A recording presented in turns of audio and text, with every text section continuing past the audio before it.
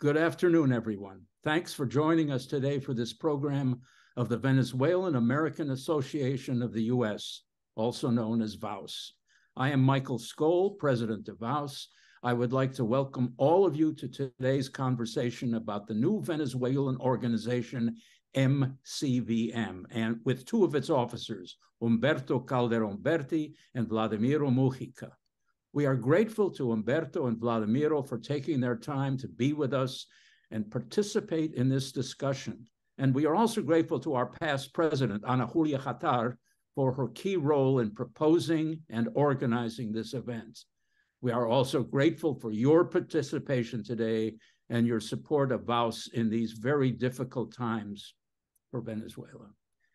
The Venezuelan American Association has been promoting exchange between Venezuela and the US for 87 years. But today, we are clearly an organization joined in the fight for a return to democracy, decency, and human rights in Venezuela. Today, we feature a, a new group, the Movement for Venezuelan Citizens in the World, charting a new course in that fight. Speaker, speaking will be Humberto Calderon Berti, president of the group, and Vladimiro Mujica, a member of its executive committee. Uh, you have read their bios, but let me uh, give you some highlights. Humberto has been a distinguished leader in government and the oil industry, including as Minister of Energy and Mines and of Foreign Relations, President of Petróleos de Venezuela, and on and on. Vladimiro is a scientist, researcher, and lead, leader in the energy industry. One of his several roles was as chairman of the Venezuelan National Commission for Oil Research. He has taught at universities in Venezuela, Israel, Brazil, France, and the US, among others. He is currently full professor at the School of Molecular Sciences at Arizona State University. We will begin our, our conversation shortly. Please note that you may ask a question of our speakers by clicking the Q&A button at the bottom of your screen and, and writing it down. We will get to as many as we can. We ask media representatives attending to give credit to VAUS, as well as to the speakers, of course, in any coverage of this program. Okay, a pleasure now to talk with an old friend, Humberto Calderon Berti, and a newer one, Vladimiro Mujica. They are leading an effort toward a goal which many believe is improbable the gathering of Venezuelan exiles worldwide in a primary to select an opposition candidate for president of Venezuela. This in the face of the Maduro criminal dictatorship, which has made clear that it will not tolerate any attempt at genuine electoral democracy and has ba- banned the leading candidate of the opposition, Maria Corina Machado. The primary is supposed to take place October 22nd, but no one knows for certain what will happen then and following. Now, let me start with Vladimiro. Vladimiro, what is the Movimiento de Ciudadanos Venezolanos en el Mundo, the Movement for Venezuelan Citizens in the World, MCVM? To you. Well, uh, Michael, before answering that question, I, I would like, I, I know that Humberto uh, will join me in that, but I would like to, to thank the um, Venezuelan American Association of the United States for giving us this opportunity to participate in this webinar and discuss about our organization and exchange point of view with you. I see that Ana Julia Jatar just uh, joined uh, the, the, webinar too. And as you mentioned, well, she's Venezuelan. She was also the, the president of this association in the past. So we are really very pleased for this opportunity. And, and this is particularly important because the the Venezuelan case, let's put it that way, and uh, the the lack of democracy. I mean, we we are we do have an authoritarian government for sure. Sometimes people hesitate whether to call it straightforward, you know, dictatorship, but it is certainly an authoritarian government. The only hesitation has to do with the origin of all this chain of governance, because initially it was a democratic selection uh, democratic election in Venezuela, the, the, the, first time Chavez was elected. But we need to understand that all this process uh, degenerated in what we have now. But back to your question. The Movimiento Ciudadano Venezolano en el Mundo, the, the translation, the citizen movement of Venezuelans in the world, is an organization that we created, founded um, a little bit more than a year ago. And the, the idea was that uh, we, we concluded that uh, even though there were many Venezuelan associations, Casa de Venezuela, many organizations that were devoted primarily to the humanitarian support of Venezuelans around the world, we we didn't have an organization that uh, was center of action was political activism, citizenship activism. So we decided to to create one that had that uh, purpose as its, focus, and uh, we we try to do that respecting and recognizing the effort of many other organizations. I mean, we, we are not trying to, to, to usurp or, or to take over the, the Venezuelan representation of the diaspora, but on the contrary, to, to form alliances and work with some other organizations on this. But it is clear that we have a, focus in that direction.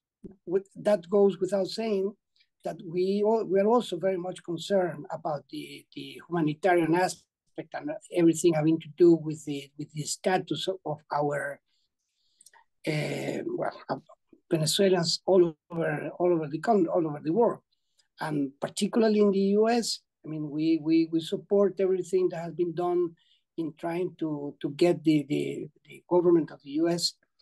to come up with these ideas about the TPS or or uh, the humanitarian parole or any other initiative that works in that direction.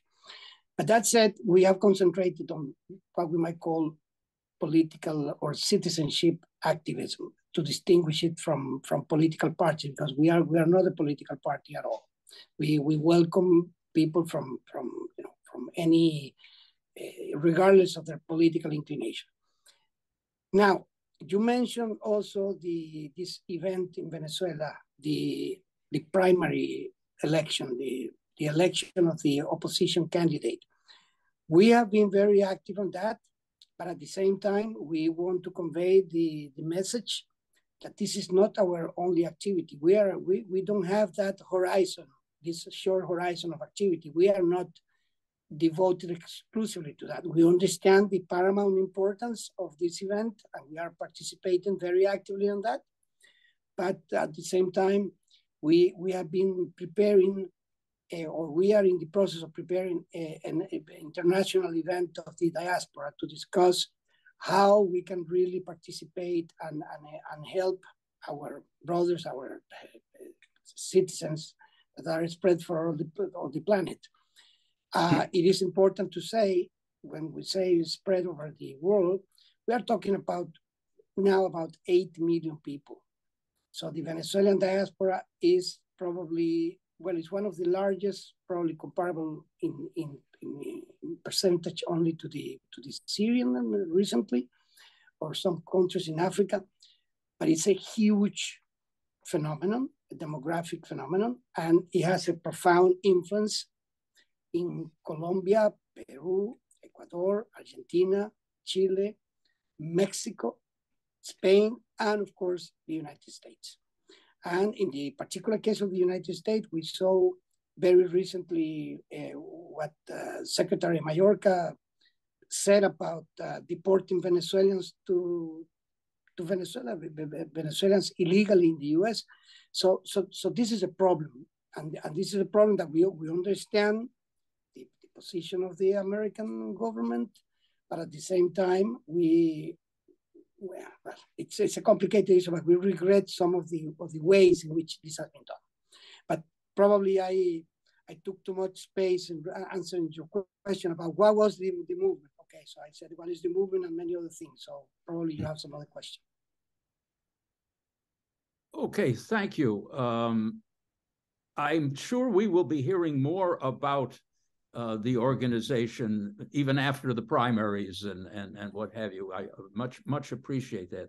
Let me turn to uh, to Humberto now. Uh, what, just, just, one thing before you turn to, to yep. Humberto, uh, uh, Michael. Um, I forgot to mention that we have several chapters. We have a chapter in, in Mexico. We have another in Chile, another in Spain, where Humberto is, um, another in Colombia, uh, Mexico, I mentioned, and we are in the process of expanding all this. So just wanted to, do you, mention. Do you have do you have a a, a pamphlet, a, a, a written explanation of what MCVM is that we oh, we distribute to people?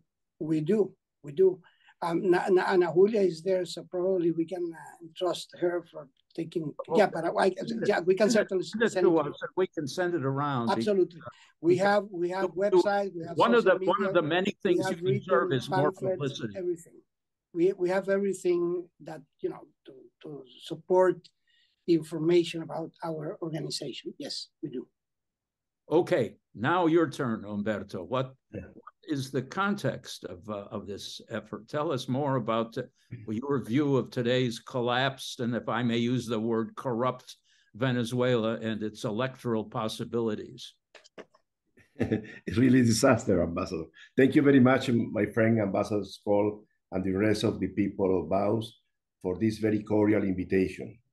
Uh, uh, this is some weeks ago, uh, some senators from the uh, Democratic Party and the Republican Party sent a letter to uh, uh, Secretary of State Antony Blinken. They said, just a paragraph, the Venezuelan people cannot afford to see another fraudulent election, which will only bring further suffering to the nation and foment greater instability in the, in, in the Americas. The situation of Venezuela is real dramatic. This, uh, the country has been destroyed. The regime is against, in war against all the institutions of the country. There is no separation, uh, uh, separation of, of, of power. They control the executive, the legislative, the justice, the electoral power. They control everything. But uh, one additional thing most of the people don't know is is this it is a real military regime. 50% of the ministers are military, active ministers. And, and they control all the sectors of the country. They have destroyed the country. Venezuela was a, a unique country in America Latina. We were growing uh, 6% per year, almost 50 years. We receive people from Europe after the war. We receive people from all the countries in South America. We receive people all around the world because Venezuela was growing. Venezuela was progressing. Venezuela was reaching a, a very good stability during, mainly during the democracy. And we provide the people jobs and opportunities. Of course, behind all of this was the oil.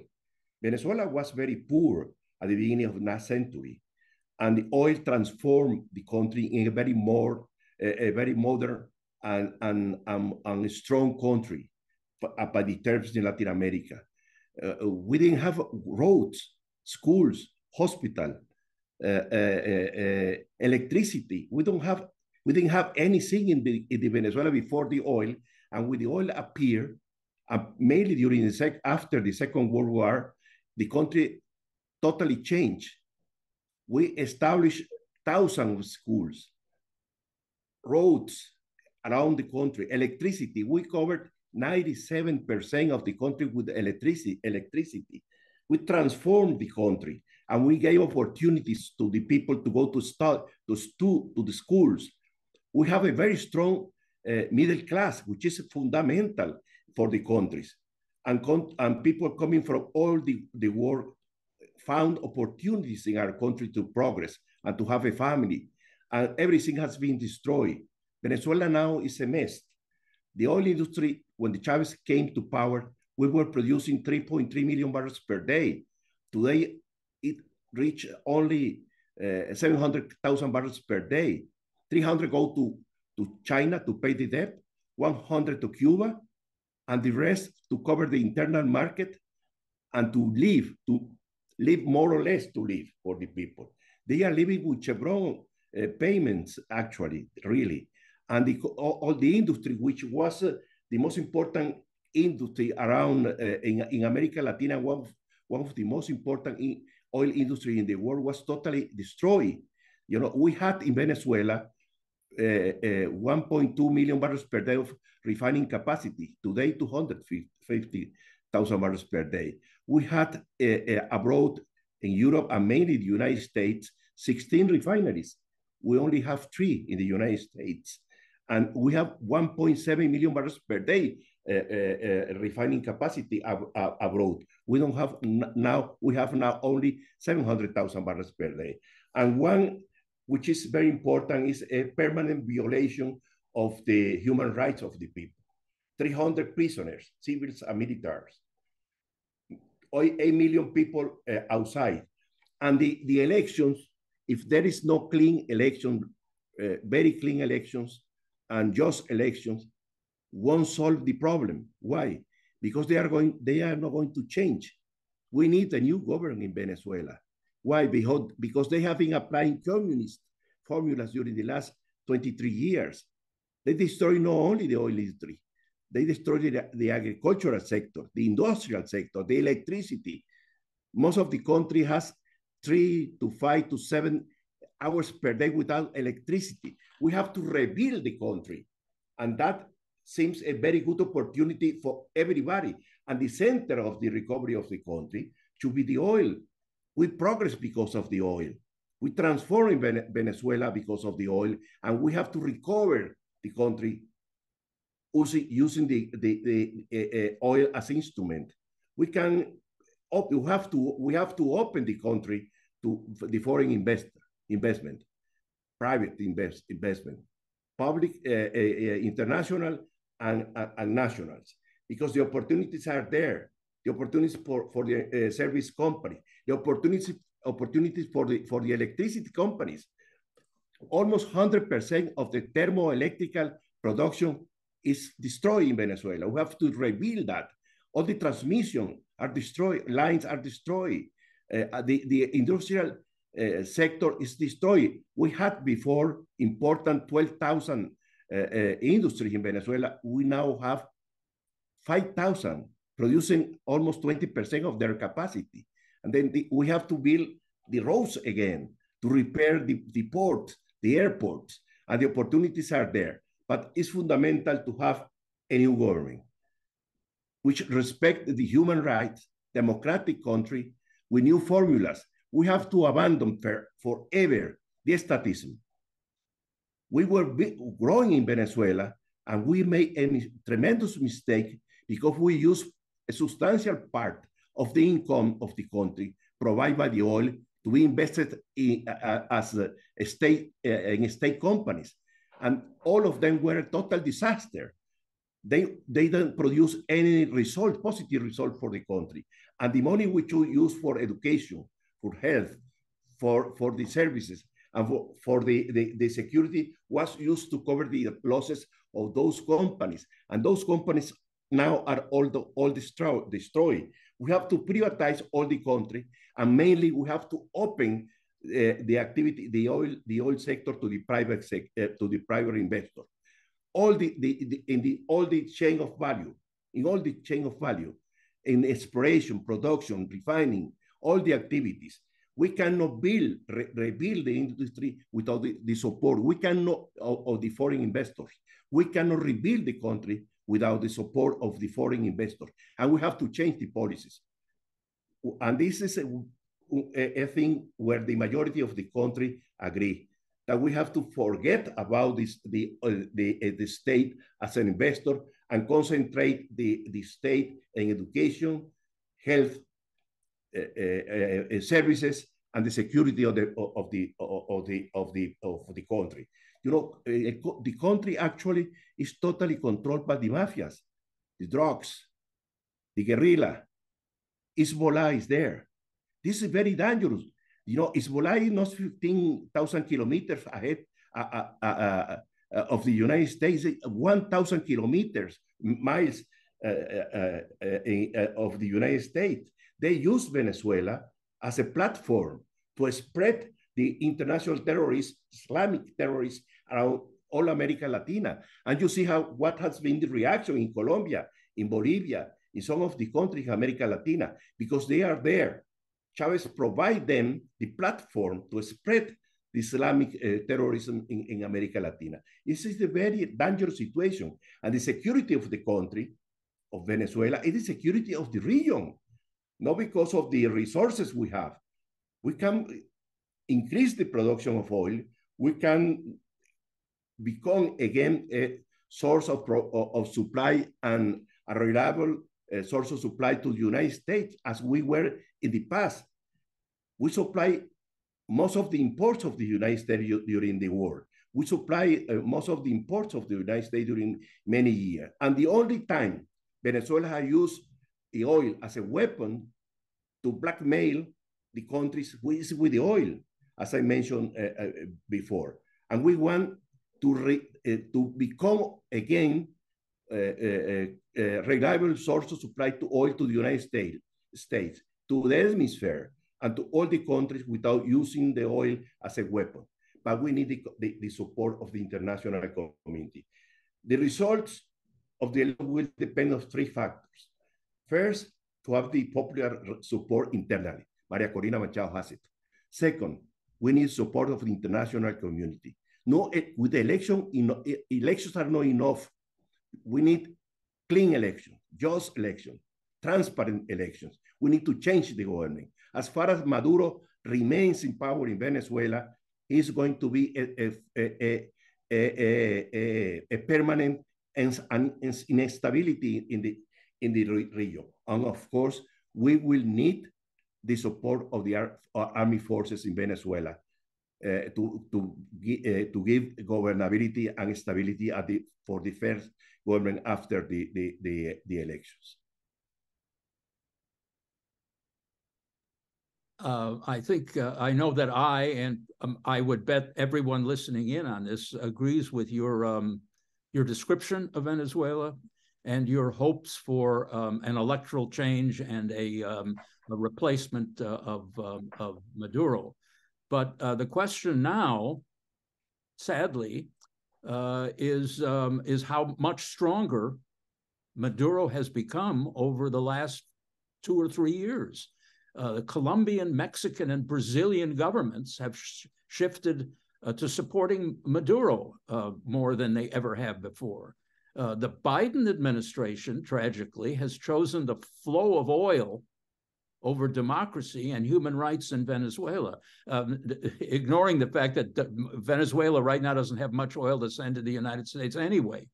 You have China, Russia, Iran, Cuba, um, international criminal terrorist groups, which you've mentioned, are operating ever more freely there. And uh, most of the Western world is now focused on Ukraine or China or now Israel. Uh, Venezuela seems uh, uh, uh an afterthought. Um, can uh, is there a real possibility for a free and open election? because we know that if there were a free election, Maria Corina Machado would win. So why is it that you think that the Maduro regime will um, will allow this to um, uh, to to happen. Uh, can your primary successfully operate worldwide despite interference from the uh, from the regime? What they want, they are they are looking for the suspension of the sanctions, right. and that cannot be done.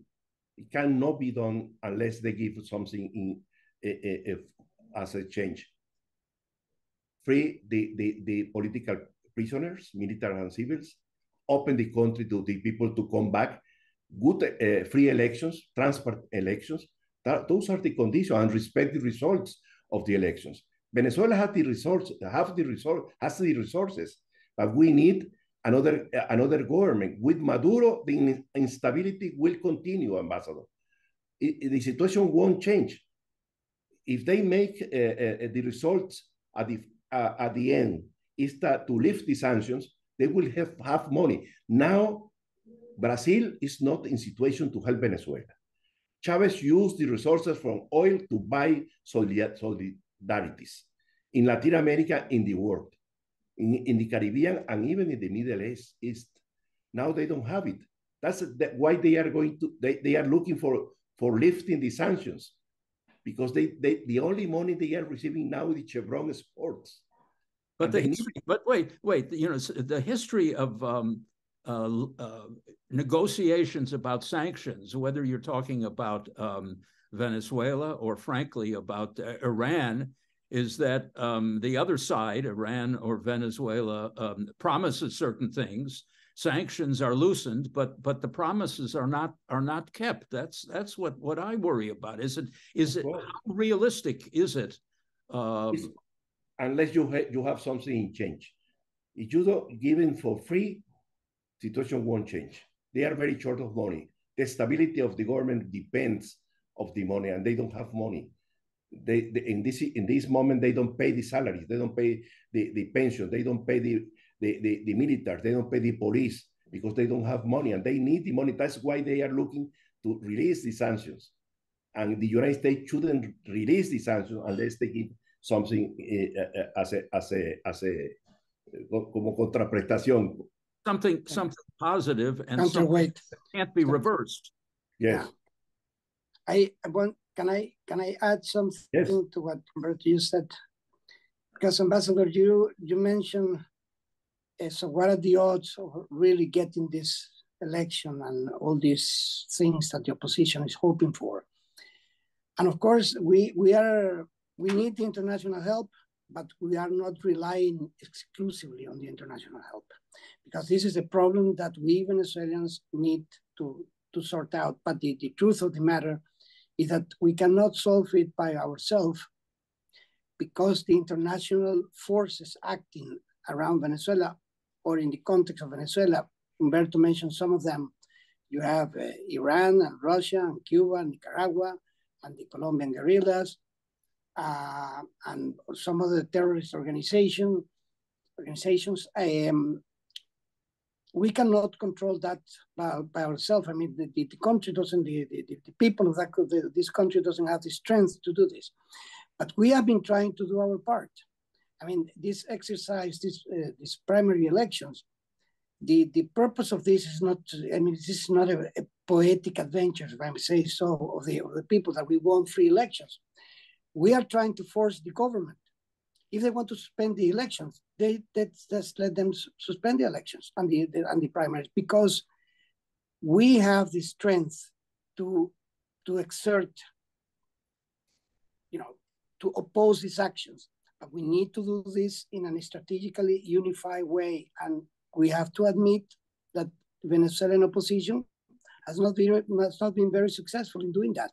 Now we have a new opportunity because there is a candidate that is really gathering momentum and it's really gathering strength.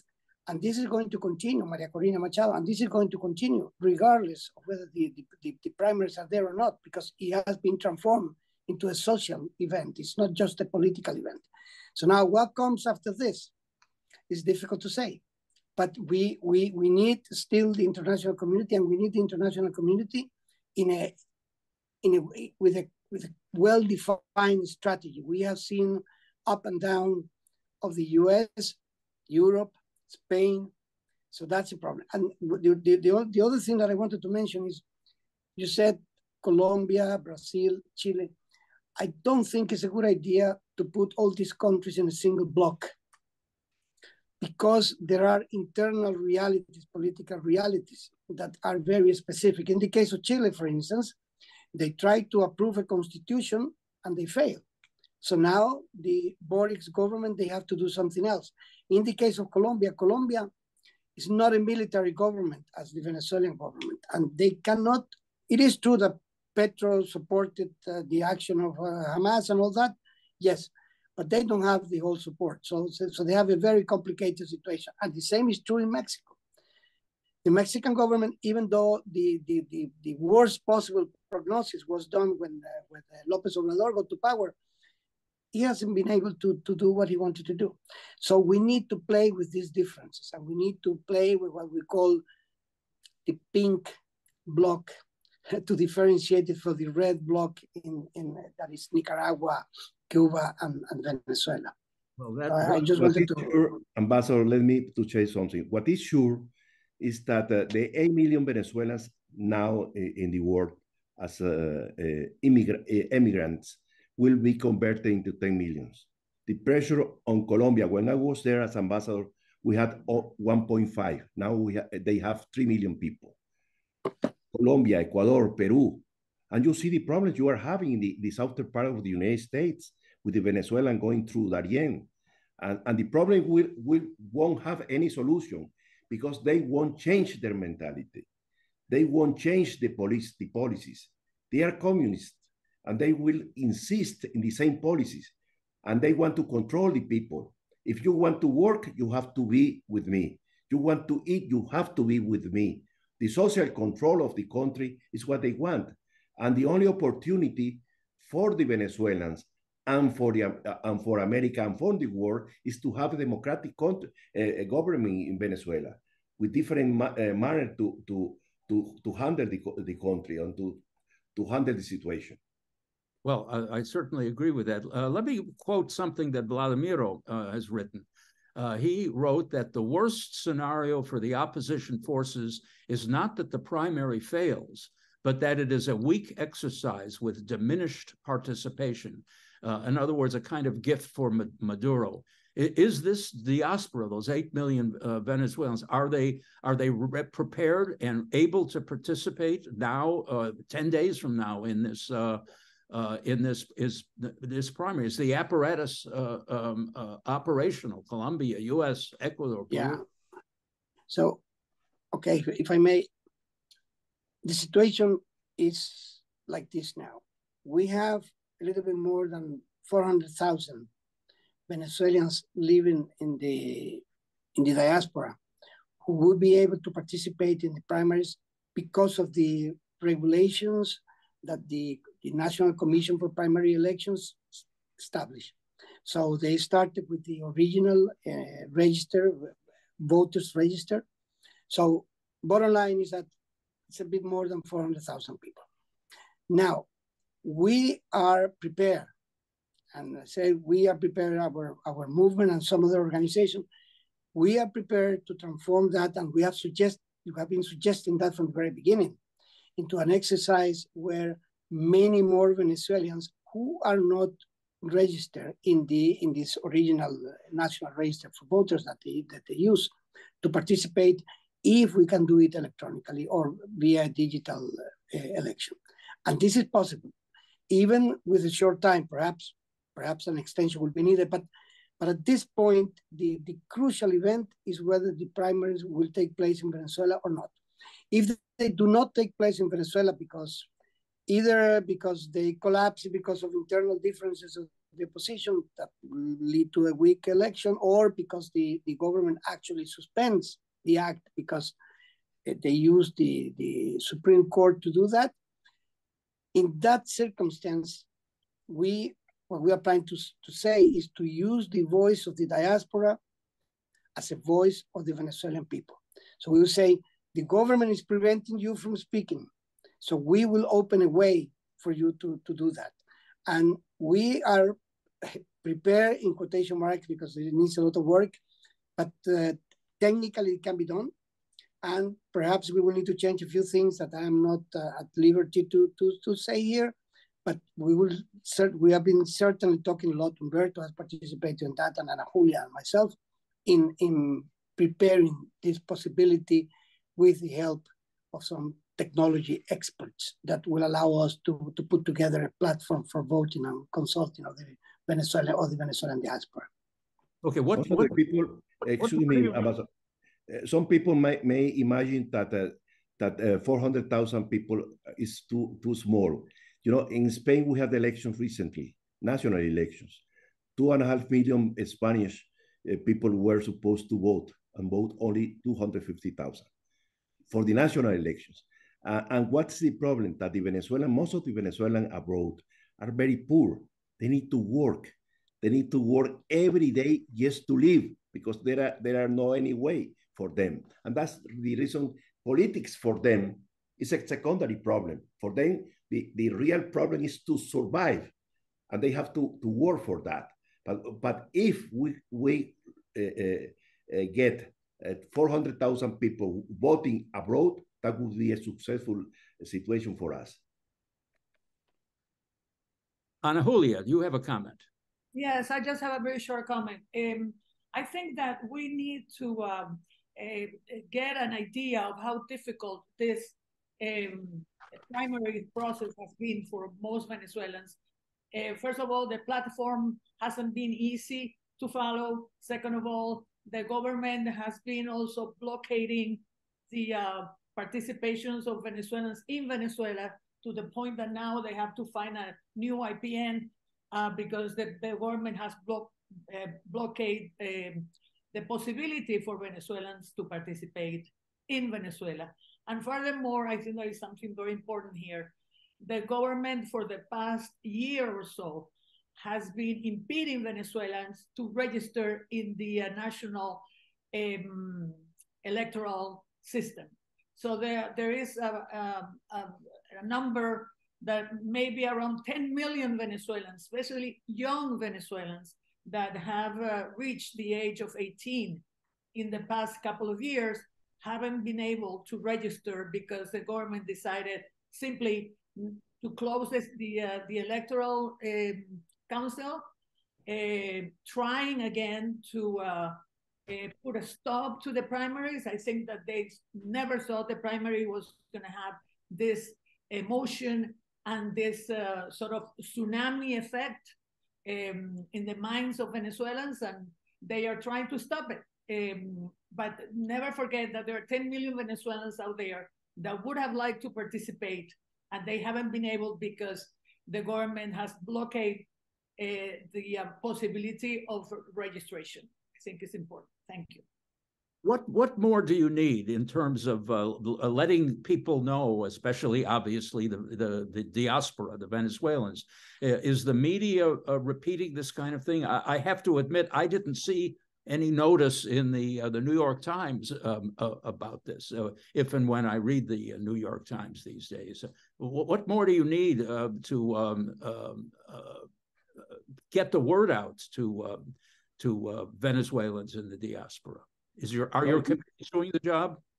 You know, the United States should realize that the situation in Venezuela is very dangerous for their own security. When Chavez came to government in 1999, the first one of the first things he did was to expel the American companies from Venezuela. He wanted to, to keep them out of the radar of the United States, to keep the country out of the radar of the, of the United States. And they brought Russians, Chinese, Iranians to produce oil. Do you know how much oil they are producing now? Zero. They brought all these countries for political reasons. The Russians to bother the United States, the Chinese to do their business and to, to be in the region, and the Iranians to spread the Islamic revolution in America Latina and to, to be a very dangerous uh, uh, threat for the United States. I, I can imagine the United States having uh, um, uh, Iranian uh, bases in, in, in, Venezuela or Russia. You know, they Chavez proposed the Russians to have bases in Venezuela, and they started trying to establish a submarine base in, in, the, in one of, of our islands. Thanks to the effort of the militaries in Venezuela, they didn't allow that. But Chavez was looking for that to have a, a, a Soviet, a, Russian bases in Venezuela, like Cuba. You know, uh, uh, is it difficult to understand why a very poor country, small island like Cuba, is it dominant in the country? They control everything. The security forces are in hands of the Cubans. The communication are in hands of the Cubans. The regist registration, all the uh, uh, operation are in hands of the, of the Cubans. They control everything, and, and, the, and intelligence uh, services are, in, uh, are under control of the Cubans, then they have a permanent threat against the Venezuelan people. That's why to solve the Venezuelan problem, you have to solve at the same time the Cuban problem. You are going to have a permanent threat to the United States if Cuba and the Venezuelan government remain in power. Okay, um, let's go to the questions. And a reminder that if you have a question, click the Q&A button and write your question down. Um, um, yeah, I, I, have, I, see that you've already written answers to a couple of. I have been answering all the questions. Yes. Yeah, but but but uh, we'd like to have everyone else see what you have to say. You. Oh uh, well, then in such a case. From Eva Santos, uh, and, and if you could just give us a, a, a brief um, um, summary of what you said oh, to Eva Santos and Martin Schubert. Yeah, sure. Let me let me just uh, uh, wait a second here. You don't have to read it. Just just general.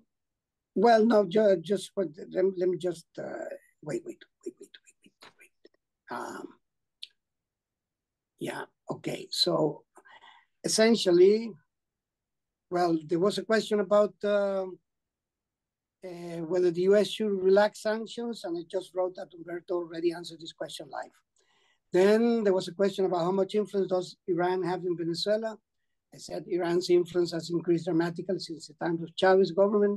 Iran and Venezuela have secret commercial and oil-related agreements, and the presence of Iranian extremist groups, groups in the island of Margarita and in the mines of the Orinoco River region is well documented.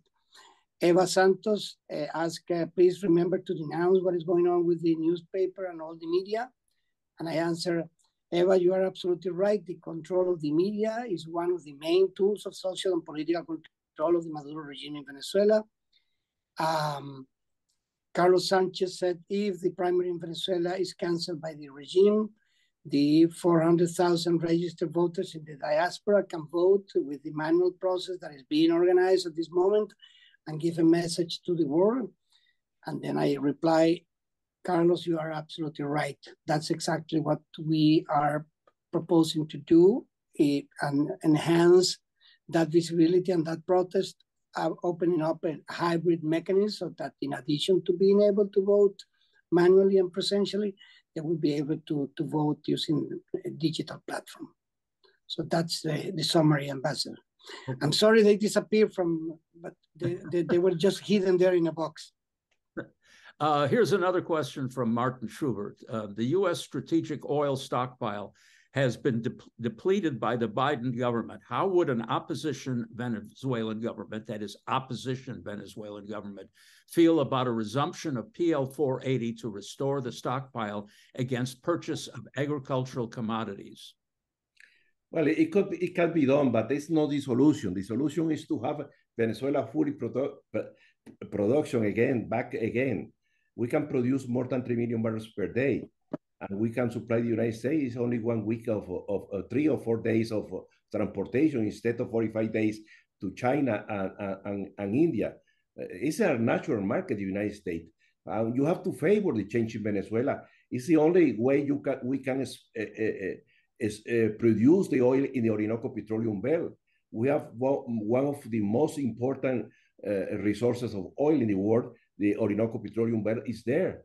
You can produce from there. We have the, the, the continental shelf. We have touched one single molecule molecule of, of, of gas from the continental shelf. We have a gas in the in front of Paria. We have gas in front of the Orinoco uh, Delta. We have gas in, in, in, in Maracaibo Lake we can export.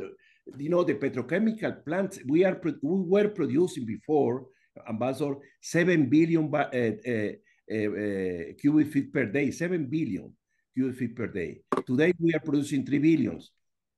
Two billions are being flared every day, flared, and the country is consuming only one billion. And all the petrochemical plants are stopped; they are not producing. All the, the, the, the gas provided to the to homes or to in industry in Venezuela having stopped because they they don't they are not able even to to gather that oil that gas and provide gas to the to the homes uh, uh, and and and the industries in Venezuela. That's why we insist that the important thing is to change to pro, to, to to force a change in Venezuela and to be uh, that Venezuela become a, a, a, a real uh, uh a provider of oil to the United States and the Western Hemisphere. Well, all you have can I can I add can I add something there, Ambassador? Because I mean, Humberto has mentioned that several times, but really the the Venezuelan crisis, of course, is very much related to oil and the, the oil industry and the collapse of the oil industry, but it's much more uh, critical than that. And you know, just to give an indication to people listening to us, the salary of a Venezuelan a university professor is typically $30 per month. And I was a professor at the Central University in Venezuela, and um, I mean, it's, for us, it has been an extremely painful experience to see all the universities collapse, uh, faculty leaving the country, students being unable to, to complete their careers. And this is the same for the Central University, Simon Bolivar University, Universidad los Andes, Carabobo, Zulia, all institutions.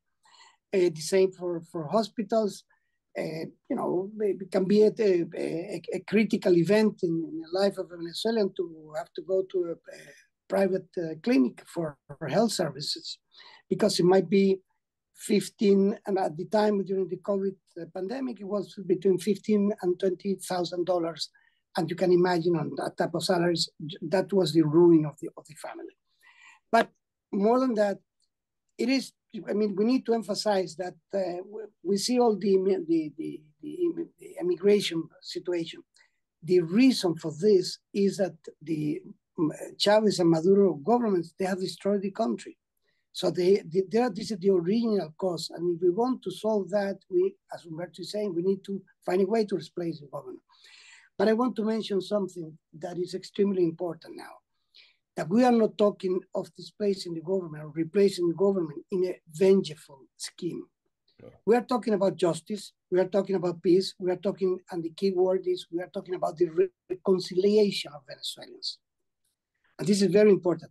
And at this point, we have been very adamant in trying to push the, the message that the Venezuelan government is acting against any possibility of reconciliation amongst Venezuelans. And the reason is very simple.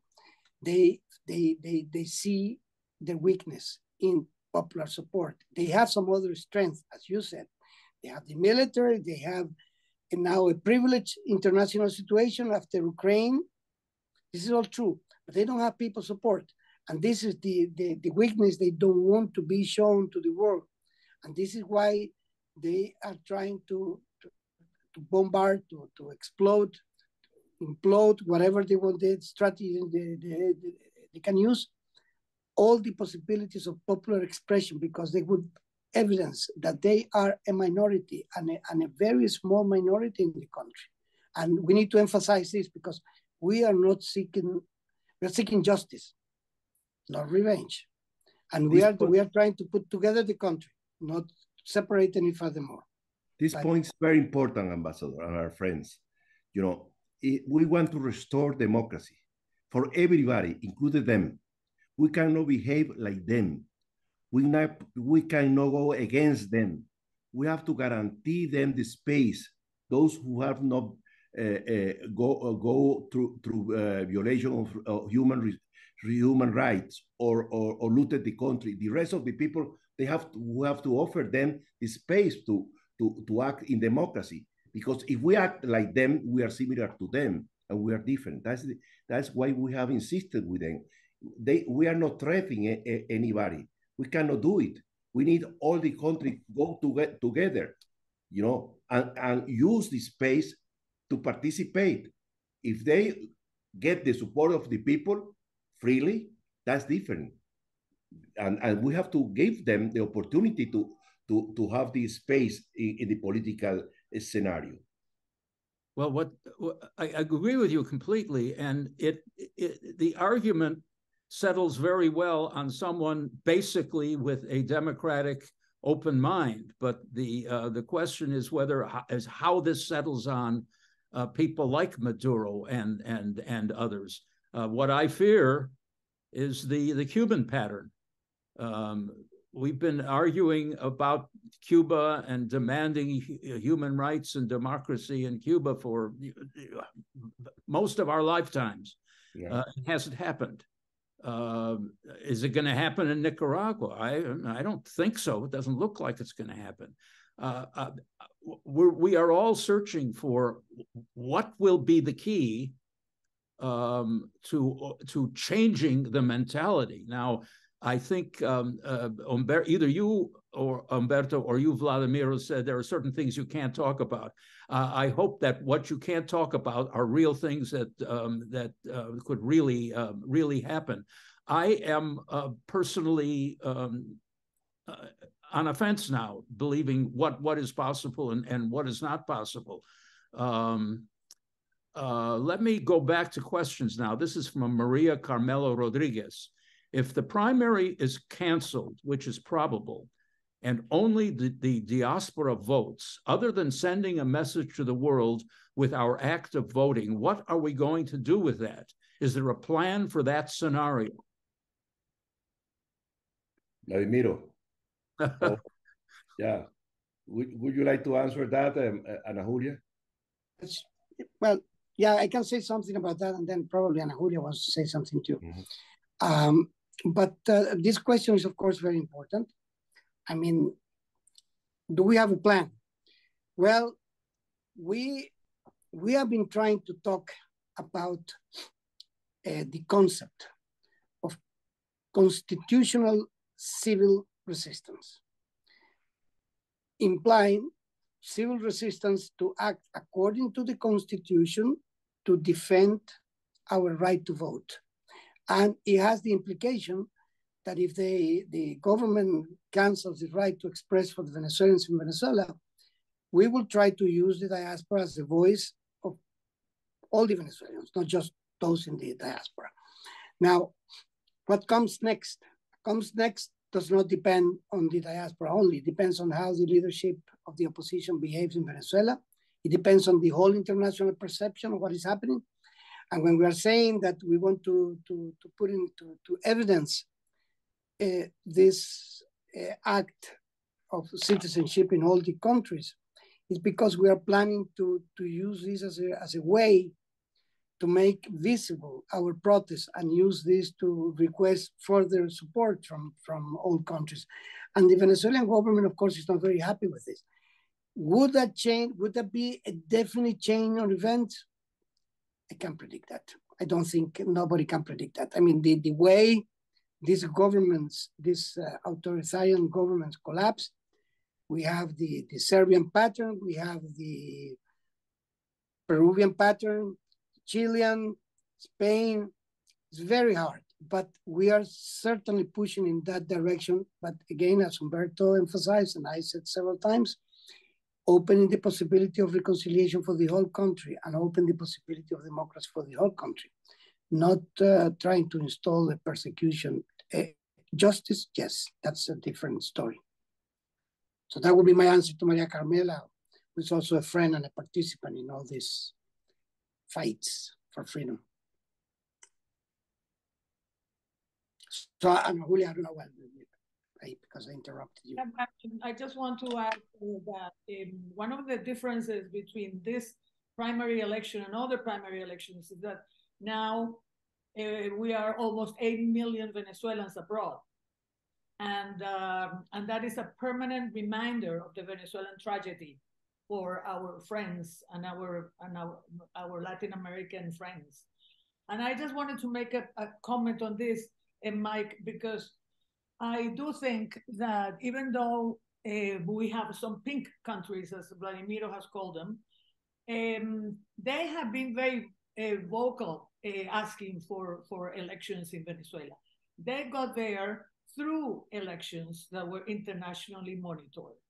And they just don't want their own people to think that they are going to follow the Venezuelan example. Why? Because the people in Brazil, the people in Colombia, the people in Chile, the people in Peru, and in other Latin American countries uh, are seeing by their own eyes the tragedy of a Venezuela, the, the Venezuelan regime. So these pink governments want to differentiate from the Maduro regime because of their own political interests. And I think that that is something that the U.S. is is is um, managing very well, in the sense that it's trying to convince these uh, presidents that are more, you know, towards uh, defending um, leftist uh, government to say, okay, we don't we don't ask you anything else. Just go to free, uh, fair and free elections, and if you win, you win. Like, like with it, and we'll we'll go with you. So I think uh, again that the eight million Venezuelans abroad, maybe they're not going to be voting in the primaries, but they will be voting in a in a presidential election. And I want to emphasize that around 20% of the Venezuelans who are in the age to vote cannot vote right now because the government hasn't uh, allowed them to um, uh, participate or to inscribe, how you say, subscribe or register, sorry, register in the uh, in the um, electoral system, which I, I cannot emphasize this enough because without the 20% of the electorate, uh, there is no free and fair elections. So we need to do that first.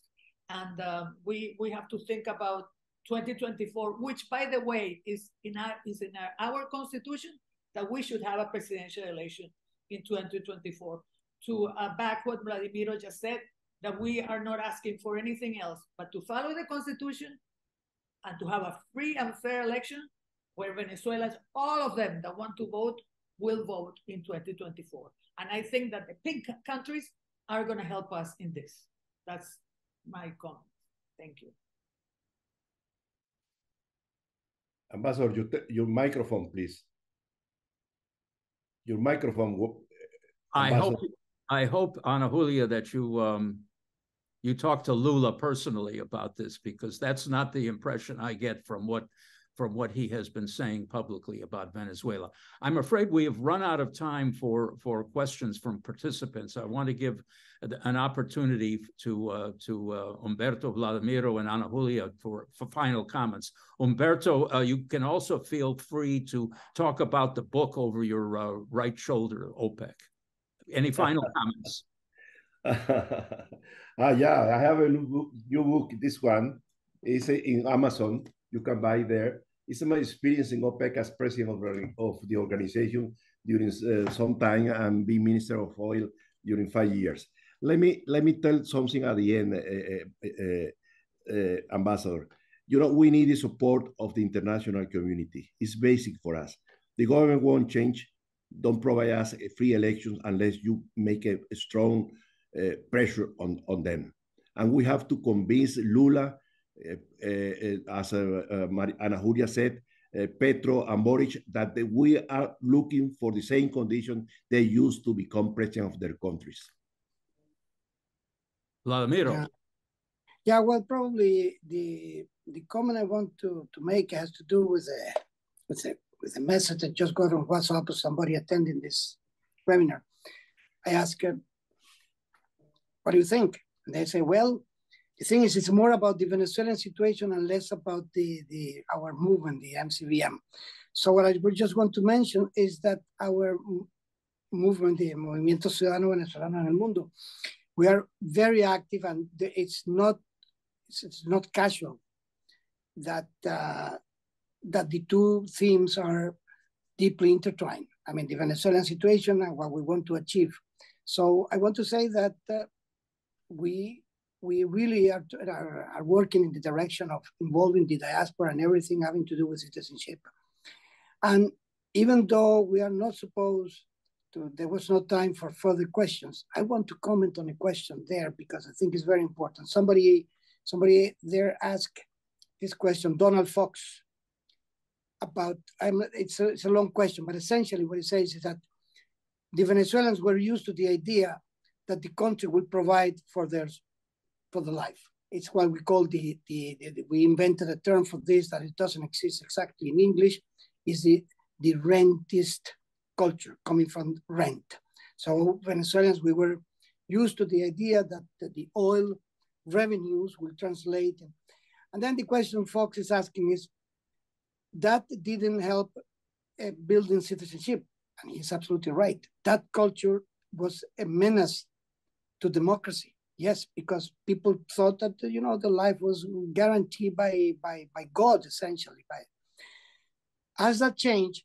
Well, it has changed the the hard way, because people thought that Chavez was a, a, a solution to corruption and many other things, and gave this idea, this uh, military group, an opportunity, and the opportunity, if if if there's ever an example that the remedy was much worse than the disease. This is what we have in Venezuela. No remedy, and we have a very a, a deep disease. So we have learned, we have learned the very hard way with a lot of misery and death and destruction, but I think we have learned. Okay. Ana Julia. Uh, no, just very briefly because we ran out of time. Please, our, everybody that is listening, help us to have a free and fair election in 2024. That's all Venezuelans are asking. And we really would like to have your support, your help, and also to um, help us spread the voice that we are not in a revenge here. We just want the Constitution to be respected, and we just want to elect a new president in 2024. And thank you very, very much for this opportunity. Thank you, Thank Mike. you. Thank you. Thank you, Humberto. Thank you, Vladimiro. Thank you, Ana Julia. And thanks also to our hardworking association team for making this event possible, Linda Calvet, Laurie Dominguez, and Sebastian Lopez.